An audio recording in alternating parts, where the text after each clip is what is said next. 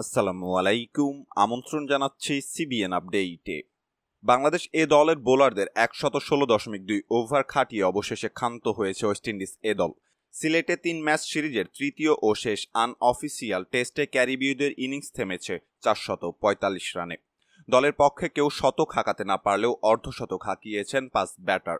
সিলেট আন্তর্জাতিক ক্রিকেট স্টেডিয়ামে টস জিতে ব্যাট করতে নামা সফরকারী দলের হয়ে সর্বোচ্চ তিরাশি রান করেন ত্যাগনারায়ণ চন্দ্রপাল। এছাড়া জোশোয়া ডি সিলভা বিরাশি, কেভিন সিনক্লেয়ার ষাট, অ্যালিক অ্যাথেনেস উনষাট এবং রেইমন রেইফার ছাপ্পান্ন রান করেন। অন্যান্যদের মধ্যে আকিম জর্ডান সাতচল্লিশ রান করেন, তেরো রান করে অপরাজিত থাকেন অ্যান্ডারসন ফিলিপ বাংলাদেশের পক্ষে বাহাতি স্পিনার নাসুম আহমেদ একাই স্বীকার করেছেন পাঁচটি উইকেট। আটত্রিশ দশমিক দুই ওভারে আট মেডেন, একশত রান খরচ করেছেন তিনি। এছাড়া দুটি উইকেট শিকার করেছেন মুশফিক হাসান ও শরীফুল ইসলাম। জবাবে ব্যাট করতে নেমে তেরো ওভার শেষে দুই উইকেট হারিয়ে আটচল্লিশ রানে ব্যাট করছে বাংলাদেশ এ দল।